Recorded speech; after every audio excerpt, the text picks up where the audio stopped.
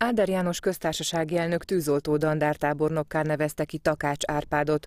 A Vasmegyei Katasztrófavédelmi Igazgatóság vezetője kimagasló szolgálati tevékenysége elismeréséül az október 23-ai Nemzeti Ünnep alkalmából Budapesten vette át a kinevezési okmányt.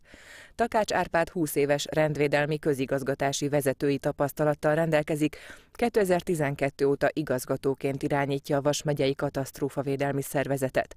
Részt vett nemzetközi gyakorlatok szervezésében és természeti katasztrófák felszámolásában.